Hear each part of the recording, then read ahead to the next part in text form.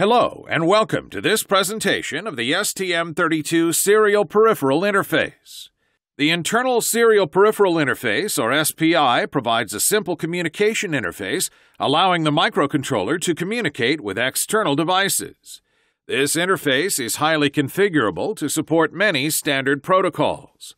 Applications benefit from the simple and direct connection to components, which requires a few pins. Thanks to the highly configurable capabilities of the SPI, many devices can be simply accommodated in the existing project. The STM32 SPI offers various operating modes that are explained in more detail in this presentation.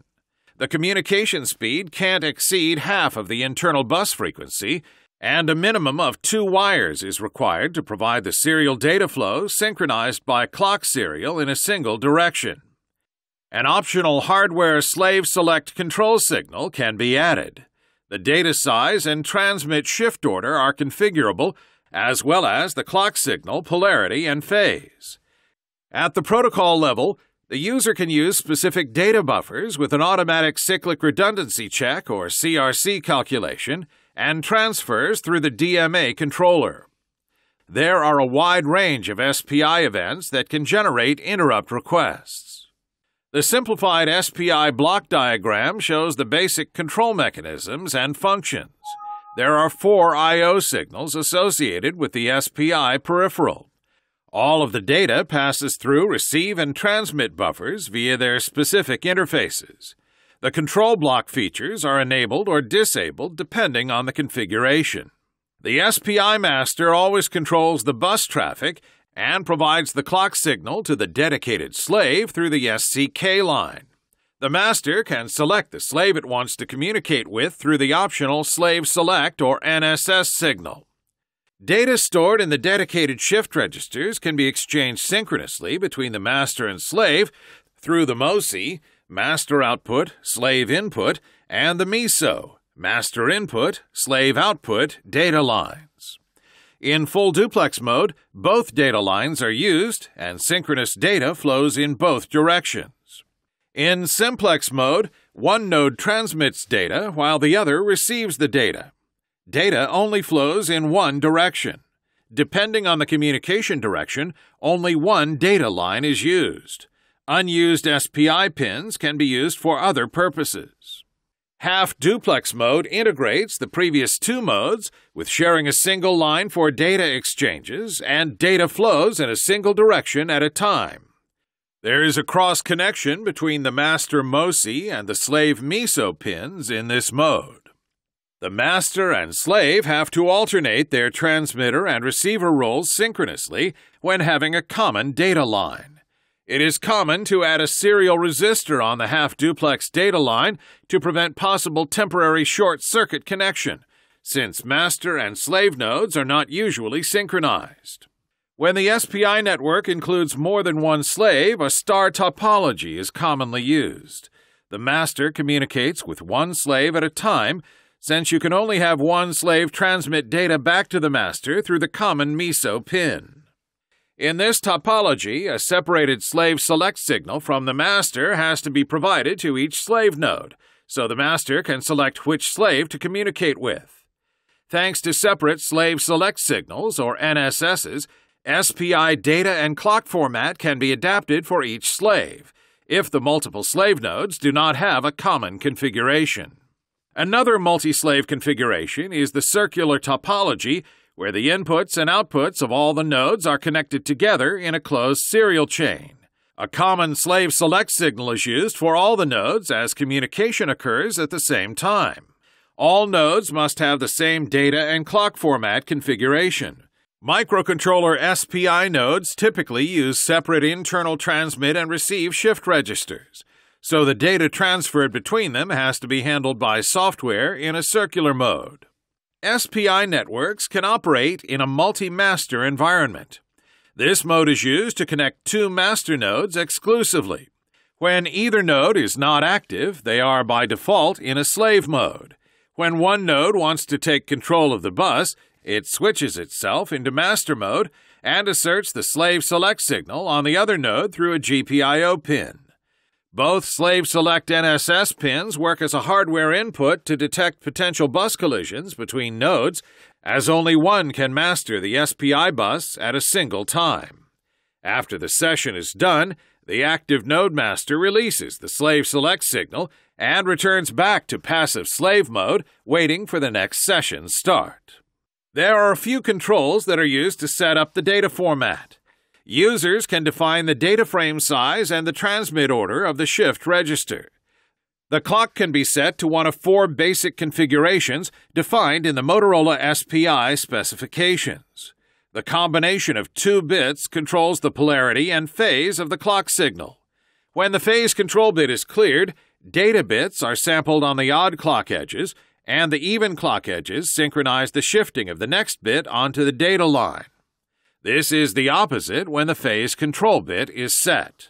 The clock polarity bit defines the idle state of the clock signal and which clock edge is used for data sampling or shifting.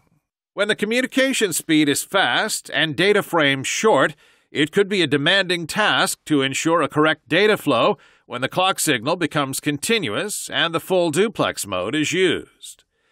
Slave nodes have to properly service all the transactions sent by the master properly to prevent any data overrun or underrun conditions. When the data frame size fits into a byte, packing mode can be used. Then multiple data patterns can be written or read in a single access to the FIFO registers. Together with the proper setting of the FIFO threshold event, the number of events to surface will decrease to better control the data flow.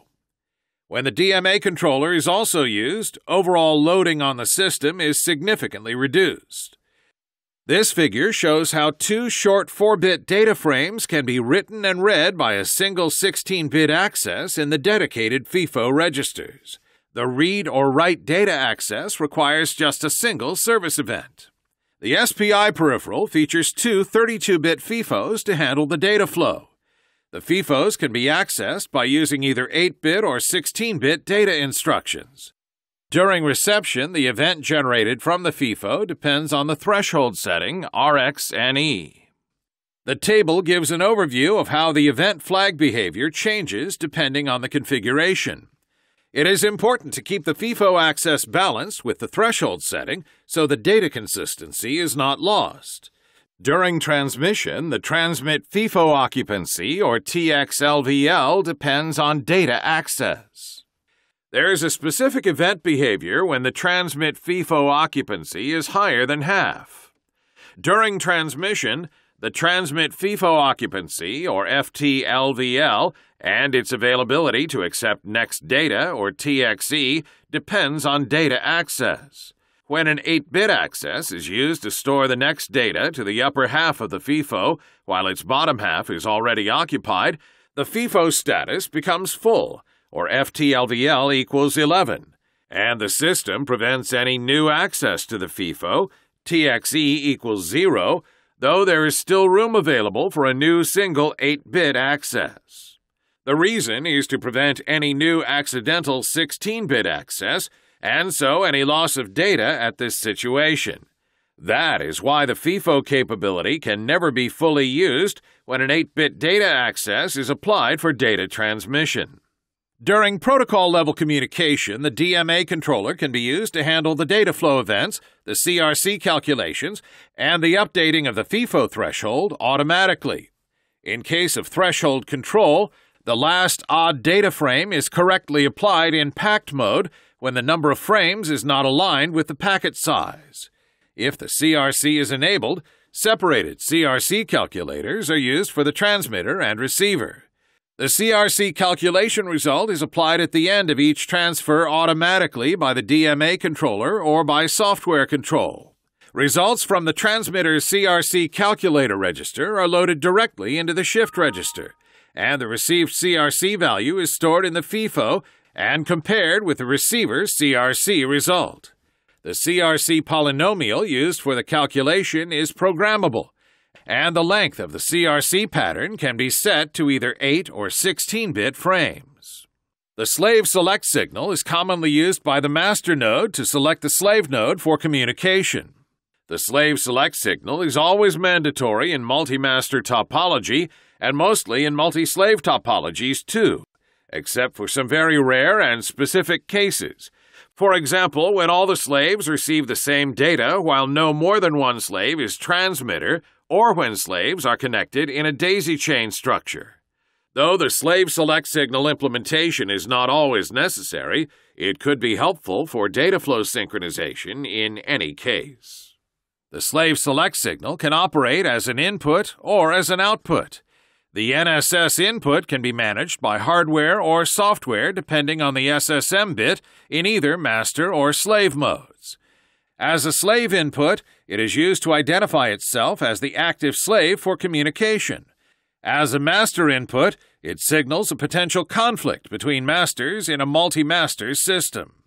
The NSS working as an output is only used in master mode and is managed by hardware in a standard or specific control mode. Additional slave select outputs can be provided by the GPIOs under software control. There are a few enhanced modes when the slave select signal is under specific hardware control. The slave select signal can operate in a pulse mode where the master generates pulses on NSS output signals between data frames for a duration of one SPI clock period when there is a continuous transfer of data. The data is then interleaved by two SPI clock periods. The clock phase is fixed in this mode. Another enhanced mode is the TI mode where the data flow is synchronized by the NSS pulses provided by the master on the last bit of data. The clock polarity and phase configuration is fixed, and the slave data output is automatically switched into high impedance when the bus traffic stops and on a specific configurable timeout. Here is an overview of the SPI interrupt events. There are FIFO and error detection events to handle data flows.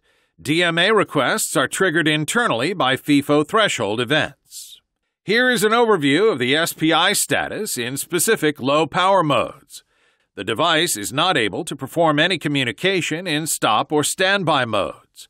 It is important to ensure that all the SPI traffic is complete before the peripheral enters stop or powered down modes. The SPI performance depends mainly on the applied clock. At a minimum, the clock frequency should be twice the required communication frequency. The actual rate of communication can be decreased by application factors. The user has to consider SPI bus loads, such as the number of nodes, the connection distance, the input capacitance, as well as the GPIO settings. Fast GPI mode should be applied on the data and clock signals. Lower power supply voltage and extreme ambient temperatures slow down edges. Sometimes slower data hold or setup time requirements have to be respected between nodes. Applications can't always manage the fast data flow due to frequent servicing of exceptions. The SPI can be used in a wide range of applications where a simple data transfer is required without the need for a complex communication protocol. Secured transfers are also supported when used with smart cards. There is a comprehensive summary of basic common tips. More details the user can find in the product reference manual. Users should follow specific procedures, checking if any traffic is still running on the bus before low power mode is applied, or the peripheral clock is removed to prevent any premature termination of such a transaction flow. It can be ongoing for a time after the DMA channel signalizes transaction complete status or the transmit FIFO becomes empty.